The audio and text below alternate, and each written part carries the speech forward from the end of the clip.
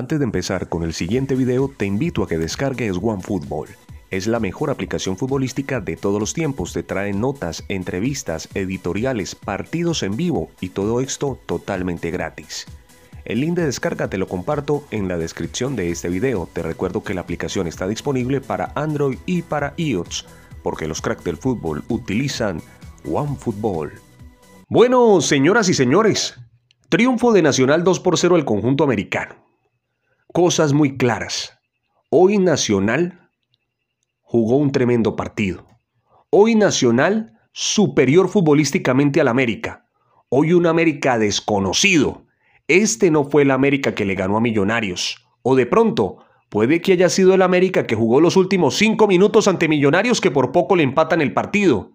Un América descontrolado, un América que no hizo más de tres toques, porque no permitía Nacional. Nacional le dominaba la pelota, le tocaba de izquierda a derecha, sociedades, y América lo único que podía hacer era interrumpir y pelotazo, buscando la velocidad por un costado de látigo y por, por el otro costado de este muchacho Snyder Mena. De resto, nada de nada. Un Atlético Nacional que se comió en el primer tiempo al conjunto americano y le bastó eso, un tiempo para ganarle a América. Inclusive, le puedo decir yo al hincha de los Diablos Rojos que América la saca barata, porque tuvo Nacional cómo hacer en el primer tiempo el tercero y el cuarto, y también en el segundo tiempo Baldomero Perlaza se comió una increíble, que si no es por Graterol, este partido hoy termina 4-5-0. Voy a ponderar las dos nóminas, tanto la de Nacional como la de América. Kevin Mier, solamente un remate y estuvo muy bien, puntuación de 7.5. Gerson Candelo, puntuación de 7.8, no lo exigieron mucho.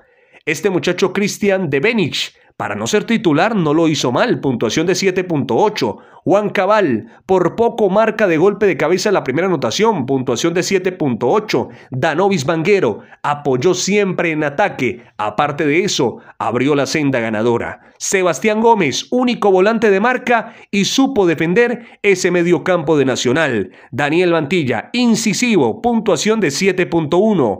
Andrés Felipe el Rifle Andrade, jugó un tremendo partido, 7.6. Guío Moreno es quien crea la jugada para el primero de Nacional, es incisivo, inclusive creo que el gol de Nacional, el tercero, ahí por ahí me dicen que la saca limpiamente. Puntuación de 7.8. Dorlan Pavón no estuvo muy bien, pero cuando estuvo rindió. Puntuación de 7 puntos. Jefferson Duque se paró frente al penal, lo cobró y lo definió. Liquidó el partido muy temprano Duque. Los cambios del verde paisa Harlan Barrera jugó muy poco, puntuación de 7 puntos. El muchacho Baldomero Perlaza volvió de la lesión. Nelson Palacios jugó muy poquito para darle una calificación. Ruggeri Blanco tuvo una incursión, nada más. Esta fue la nómina que paró el profesor del conjunto verdolaga. Ahora vamos con la nómina del conjunto de los Diablos Rojos. Ayayay, látigo para todos. Joel Graterol, la figura de América. Si no es por él, golean al conjunto de los Diablos Rojos, puntuación de 7.5. Jaliston Martínez, de lo mejorcito atrás de América, puntuación de 7.2. Elvis Mosquera, comprometido en el primer gol de Nacional, puntuación de 7.1. Jorge Segura, de partido terrible, puntuación de 6.9. Ever Moreno, puntuación de 6.5, le falta muchísimo. Luis Alejandro Paz, muy confiado, inclusive pierde una pelota que tipificó el tercero de Nacional, solamente que ese gol lo anularon. ¿Para usted qué fue? ¿Bien anulado o era el tercero del verde paisa? Hágamelo saber en los comentarios. Pino, desconcentrado, perdido entre él y el jugador Luis Alejandro Paz, el jugador Guido Moreno los dejó en la calle. Puntuación de 6.2. Micolta corrió y corrió, pero nunca tuvo dirección. Puntuación de 6.1. Carlos Sierra, lo más incisivo en ataque de América. Puntuación de 6.5. Snyder Mena, lo mismo que Micolta. Corrió y corrió, pero jamás le llegó el balón. Adrián Chorramos, solo es muy complicado. Puntuación de 6.4. Los cambios en América. Juan Camilo Portilla entró en el segundo tiempo y América mejoró un poco puntuación de 7 puntos. Nietzsche Sánchez, ojalá sea ese Nietzsche Sánchez que hemos visto. Le vi cositas interesantes. Puntuación de 6.5. Alejandro Quintana, muy poquito. Puntuación de 6 puntos. Esta fue la formación que paró el asistente hoy del profesor Alexander Guimaraes. Entremos un poco en contexto de lo que sucedió entre Atlético Nacional y el conjunto de los Diablos Rojos. Un Nacional que arrancó apretando una América que se metió atrás desde los primeros minutos. Si vos te defendés por necesidad, perdés por obligación.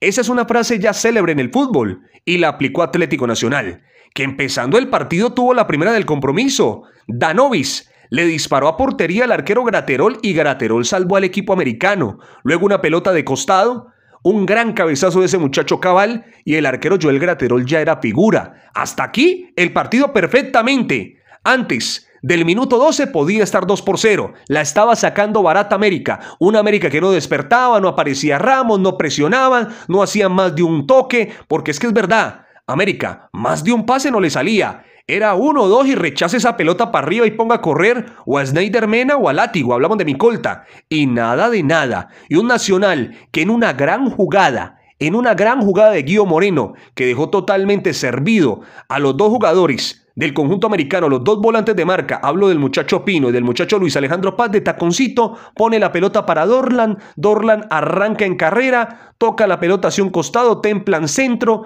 y queda la pelota sobre el segundo palo para que aparezca totalmente solo Danovis Vanguero. También hay que decir que muy mal cierre de Elvis Mosquera, que pudo haber hecho inclusive un poco más en esa jugada. La pelota finalmente también termina entrando por debajo de sus piernas, se la acomodaron a Graterol al segundo palo y nada que hacer. Es un golazo de Atlético Nacional. Con ese gol ya Nacional era justo ganador, era la tercera vez que llegaba y como se lo dije yo, la primera, la segunda, pero cuánto va el agua al cántaro hasta que por fin se rompe y acá llegó el gol de Nacional. Ya luego en el minuto 24, ay señores, una jugada tan infantil de ese muchacho Sneider Mena que salta con las manos abiertas eh, tipo Jesucristo y dice que la pelota le pegó en la barriga. Yo no sé si es que esos muchachos no se dan cuenta que los están mirando las cámaras. El árbitro Alexander Ospina fue, miró, miró el bar y de una. No tuvo necesidad ni siquiera de mirarlo mucho tiempo. Eso se demoró que como un segundo apenas vio la jugada dijo penal. Al frente se para este muchacho Jefferson Duque, le pega la pelota y señoras y señores Nacional marca el segundo y un América en un letardo. Un América, mejor dicho, desconocido, vuelvo y le repito, este no fue el América que yo vi contra Millonarios y un Nacional que gana porque fue superior y jugó muy bien. Esa es la realidad, felicitaciones al hincha de Nacional. Ese es el Nacional que quiere ver el hincha de Nacional jugar y ese es el América que no quiere ver el hincha del América. Un Nacional que siguió insistiendo, un Nacional que trató, por ahí un remate de Carlos Sierra y pare de contar donde estuvo bien Kevin Mier. Lo único de América en el primer tiempo es ese remate. Ese remate que creo que tampoco tenía dirección a portería y pare de contar. Y Nacional, en una jugada donde Joanny Moreno le roba la pelota a Luis Alejandro Paz, termina armando el tercer gol, que define muy bien Dorlan. Finalmente el árbitro Alexander Ospina va, mira al bar y termina anulando ese gol. Háganme usted saber en los comentarios si estuvo bien anulado, si estuvo mal anulado. Los hinchas de Nacional me dicen que saca la pelota limpiamente. En una cámara se ve que saca la pelota limpiamente y en otra cámara se ve que lo tocan desde atrás a Luis Alejandro Paz y lo desestabiliza. El árbitro finalmente anula el gol, le saca cartulina amarilla a Guido Moreno. Así terminó el primer tiempo. Yo esperaba ver un América revulsivo, sí. Hacen un cambio. Sacan al muchacho Micolta, entra Juan Camilo Portilla Entra un volante de marca. Ese muchacho le dio un poquito más de control en la mitad del campo al conjunto americano. Un jugador que para mí siempre tiene que ser titular. No sé qué le pasó aquí al conjunto americano, al asistente de Guimaraes. América se metió un poquito más en el partido. Nacional también, ya con el resultado a su favor, esperaba que América saliera a proponer para marcar el tercero. Y señoras y señores, tuvo Nacional como marcar el tercero. Hay que decir que Carlos Sierra también tuvo un remate desde afuera que pasó por encima del vertical pero tuvo un mano a mano Baldomero Perlaza increíble que se comió. Pudo haber sido el tercero perfectamente. Y ya América con, con los restos, digamos, tirando la pelota arriba, al como fuese, un Nacional dominando la pelota también y al final del partido ya tocaron la pelota atrás y terminó el compromiso. Vamos a resumir, ganó Nacional bien, Ganó Nacional porque fue contundente. Ganó Nacional porque mostró bonito fútbol. Ganó Nacional porque tuvo un Guío Moreno inspirado. Porque tiene jugadores que en la parte de arriba están haciendo bien las cosas. En la parte de atrás se está volviendo un equipo sólido Nacional. Ojo con ese Nacional. Que este Nacional no es el mismo que arrancó el campeonato. Es un Nacional que se le ven cosas muy interesantes. Y felicitaciones a toda la hinchada verdolaga. Por parte de América. Ay, ay, ay, qué dolor de cabeza se está complicando, el profesor Alexander Guimaraes viene a coger una papa caliente, no me imagino yo donde Osorio hubiera sido el técnico de América el día de hoy. Ay, ay, ay. Eso hubiera sido, mejor dicho, una película hoy con los hinchas de América. Hoy América partido horroroso, una América sin alma, una América sin corazón, una América que salió cobarde, una América que se metió atrás. Y cuando te metes atrás, vuelvo y hago énfasis en la frase que dije ahorita.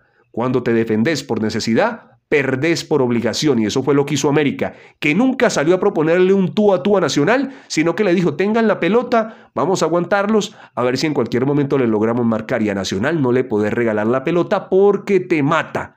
Partido muy feo de América, uno de los peores primeros tiempos que le he visto yo al conjunto de los Diablos Rojos. Mucho trabajo del profe Guimaraes.